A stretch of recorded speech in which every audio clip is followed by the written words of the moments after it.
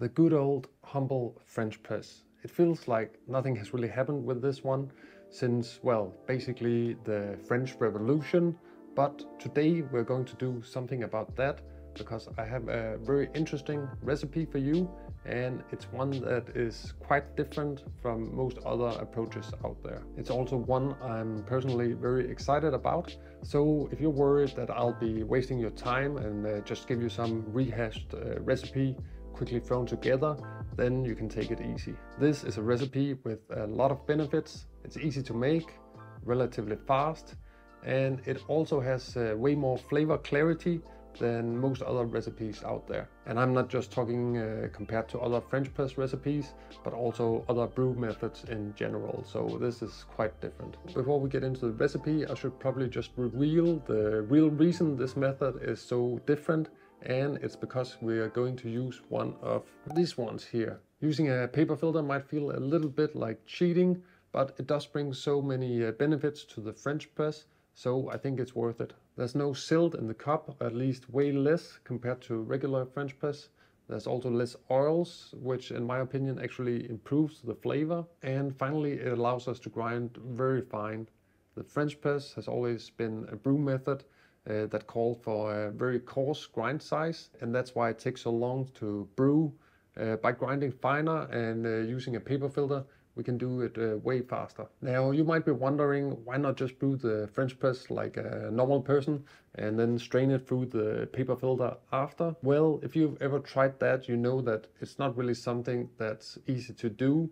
It can take forever for the coffee to drain and it can have a kind of nasty over extracted taste with all these fines uh, being extracted for 5 to 10 minutes. But if you're doing it uh, this way here, and you're adding a paper filter to the plunger, then you won't have any of these issues and you'll get a much more consistent result. But now let's get to the recipe. Oh, and of course I should also mention that you do need uh, three key things if you want to succeed with this French press recipe or any French press recipe in uh, general. So of course you need good coffee, relatively soft water, if you want to learn more about good coffee water, then I'll put a link to a blog post down in the description. And finally, of course, you also need a clean French press. So if you've never taken the plunger apart and uh, cleaned underneath the mesh screen, then uh, it's probably a good time to do it right now. I'm using this Timemore French press, which is uh, pretty nice. But just so you guys can see a little bit better what's going on, I'm just going to take it out of uh, this protection sleeve here. And then we're just gonna brew right into the glass so you can see the small details of this technique. For this recipe, you will of course need a French press, a carafe, a spoon to stir with. It's nice to have a cup handy and you should also have a digital scale. And finally, like I mentioned, you need a paper filter. You can use most different types. Uh, the important thing is just that it covers the plunger fully. Start out by taking the paper filter, open it up a little bit, and then just uh, fold it together like so, and then put it into the carafe. Now I'm just going to give it a quick rinse and then preheat the brewer at the same time. And then I'm just going to scoop it out with the spoon here and then just let it drain a little bit and then uh, put it in the cup to cool down and then uh, discard the preheat water. At this point we just add all our coffee. I'm using 22 grams to 330 milliliters and that's a 1 to 15 ratio. The grind size is quite fine, you could probably call it an AeroPress setting, so that would be around 5.5 on 1Zpresso K or 20 clicks on the Comandante. With French press you need to use a little bit more coffee than you would otherwise, so I like to increase the dose with 15%. An easy way to calculate that is just to go down two steps from your normal brew ratio. So if you're normally brewing at a 1 to 17 ratio, now you should do a 1 to 15 instead. Now give it a good stir. I usually stir 8 times back and forth and it's important that you reach all the way down into the carafe to really mix uh, all the grounds and the water. Start the timer and wait one minute. Now, while the coffee is steeping, you just take your rinsed paper filter, squeeze out if there's a little bit of excess water, and then you just prepare the plunger. Just put it on like so. And now we're coming up to one minute. And what you're going to do is just take your spoon again and then uh, gently stir the crust. Usually three or four times is enough. And then uh, the rest of the grounds are going to sink down.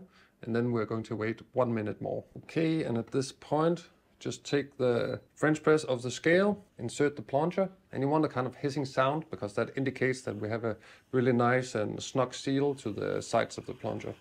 It's important that you press the plunger down gently, so this step can take anything from 45 to 60 seconds. You don't want to disturb the grounds or risk dislodging the paper filter. And at this point we're done, but there's just one more little step that I personally like to use, and that is to decant the coffee into a separate carafe.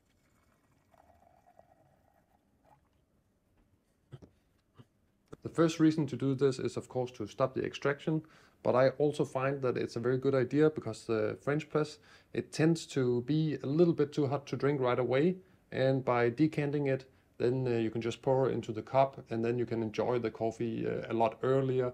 Otherwise, maybe you'll have to wait 10 minutes before it gets down to temperature. Also, another little nice feature is that it can give you an additional step to uh, get rid of any sediment. So if you're not using a paper filter, it's uh, also a good idea because you can trap some of the silt down in the bottom of the carafe. Wow, as you can see, it's a completely clean brew. There's no silt in there.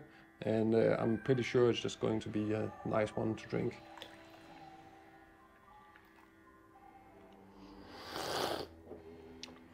Mm, just tastes really sweet, uh, balanced, a lot of clarity totally unlike uh, the French press I know from uh, back in the days. If uh, I had to compare it to anything, I would say it's closer to AeroPress, but it actually tends to be uh, cleaner than regular AeroPress uh, brewing methods. And uh, I think that's because when you brew AeroPress, you kind of press the water through the puck, and that can give you some kind of solubles in the brew. Whereas with this method here, you press the other way, so the coffee is already stuck in the bottom and then you just gently filter the brew and then you pour it up. So actually it tends to be a little bit cleaner than the AeroPress. This is a brew that is uh, quite transparent. The TDS is still high, but it's just a really clean brew with uh, low turbidity.